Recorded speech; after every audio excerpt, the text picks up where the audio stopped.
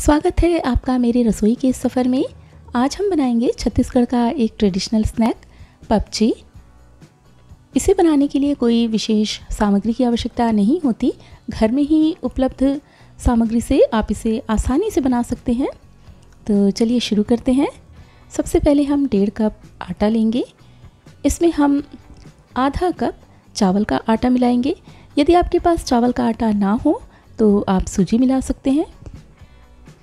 अब हम इसमें घी का मोयन देंगे।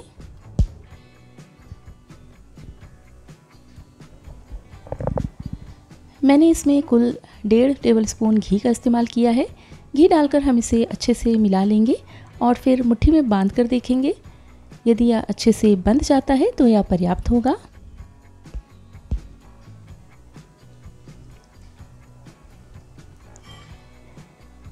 अब हम इसका आटा लगाएँगे। थोड़ा थोड़ा करके इसमें हम पानी मिलाकर इसे गूंद लेंगे। हमें इसे थोड़ा कड़ा गूंदना है। अब हम इसकी बड़ी बड़ी लोइयाँ तैयार करेंगे। और इसे हम बेल लेंगे। बेलने के लिए इसमें किसी भी प्रकार के परथन या तेल लगाने की आवश्यकता नहीं होगी। इसे हम मोटा बेलेंगे। अब एक कटोरी या गिलास की सहायता से हम इसे काट लेंगे।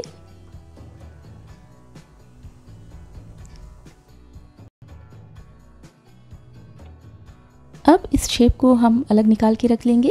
इसे हमें डीप फ्राई करना है। तो तेल मैंने गर्म करने के लिए रख दिया है। बाकी बचे हुए आटे से भी इसी प्रकार हम शेप निकाल लेंगे और कांटे की चम्मच की सहायता से यूँ दबा लेंगे ताकि तेल में डालते ही ये फूले नहीं। इसे गर्म तेल में डीप फ्राई नहीं करना है। जब तेल अच्छे से गर्म हो जाए, तब हम उसे लो फ्लेम में कर देंगे और तब इसे डीप फ्राई करेंगे।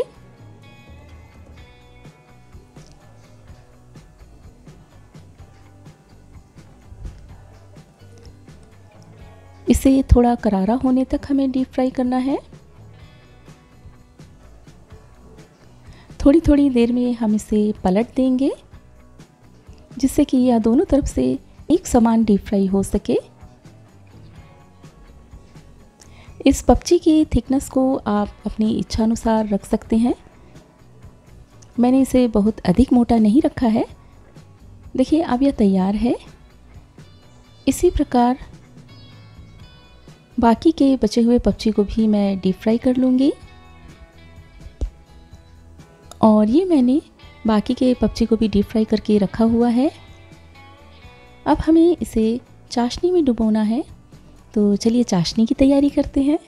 मैंने दो भाग शक्कर लिया है और एक भाग पानी। जिस कटोरी से मैंने दो कटोरी शक्कर लिया था, उसी से एक कटोरी पानी इसमें डाला है। अब हम इसे मीडियम फ्लेम में गर्म करेंगे। शक्कर अच्छी प्रकार से घुल जाना चाहिए।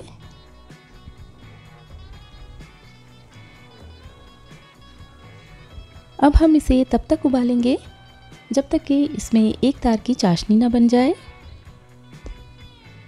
बीच बीच में हम इसे जांचते रहेंगे कि चाशनी तैयार हुई है या नहीं।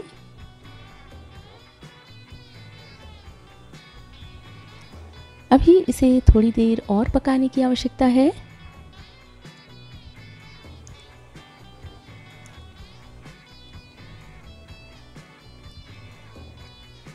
अब यह चाशनी तैयार है। एक बार मैं इसे उंगलियों के बीच लगाकर देखूँगी।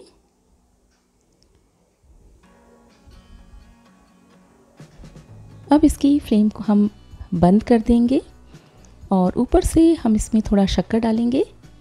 ये ऑप्शनल है ऐसा करने से पपची के ऊपर शक्कर के क्रिस्टल्स दिखते हैं।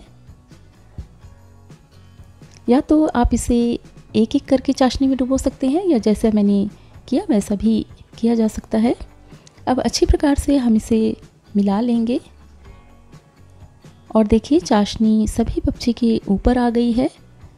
अब हम इसे एक प्लेट में निकाल कर अलग अलग रखेंगे। ऐसा करने से पपची आपस में चिपकेंगे नहीं। ठंडा होने के बाद आप इसे एक साथ रख सकते हैं। तो यूँ तैयार हो गई है हमारी ये पपची आपको यह कैसा लगा मुझे कमेंट करके बताइएगा। Thanks for watching.